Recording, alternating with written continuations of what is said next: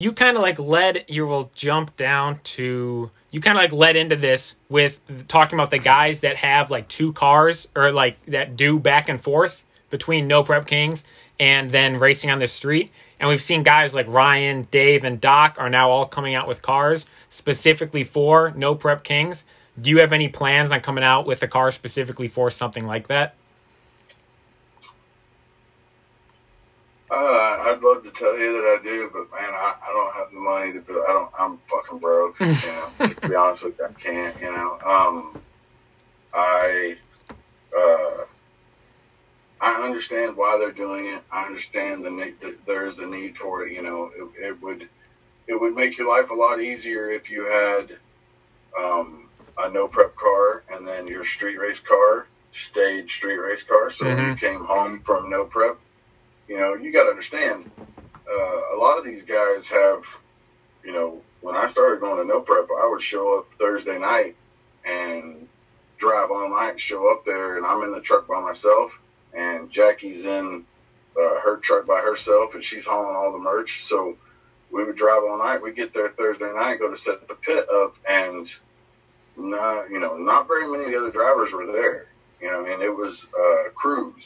You know, so it's really tough to do this if you don't have you know extra stuff or two two of everything or, or a crew of guys or whatever. So you know um, to build another car it would be it would be way it would be a whole lot um, less stressful if you could come home from no prep because sometimes we're on the road for two three weeks at a time you come home from No Prep Kings and your street race car is sitting there ready to go or, you know, or very close. And then you can go street race and then jump back in the No Prep rig and drive off. Like, you know, I understand the need for, I understand that the convenience that that allows, but, uh, but I also understand that, you know, I have the attention span of a parakeet. You know what I mean? Like, I can't pay attention to something to two, you know, like,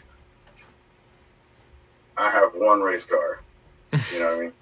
So I, that's all I can do right now. Uh, I would love to build a new car. I would love to build a you know more aerodynamic spaceship looking you know thing. Like I'd love to. That would be uh, that'd be awesome, especially with all the new cars that are coming out now for No Prep Kings. You know, I mean, if if everybody thought I was behind last season, Jesus, I'm 50 years behind this season, you know. So Mhm.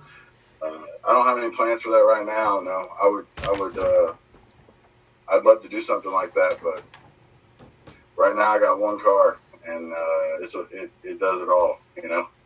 So I gotta I- make do with what I got. Another question what I was going to ask was do you do you have any plans for the Crow mod? But after hearing that, I assume the answer would be no. Any plans for what the Crow mod? Yeah.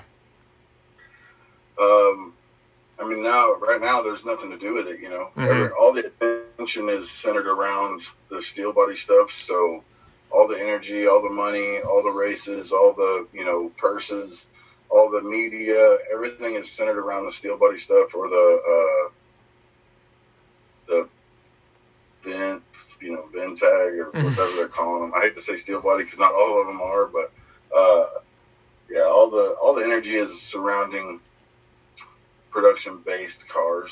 So, you know, the Crow mod doesn't fit into any of that, you know. And I'm not uh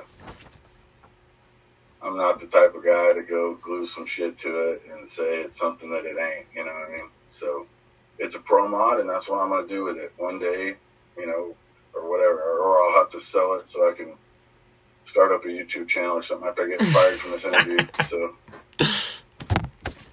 right now it's just holding parts up. Really, it's a workbench.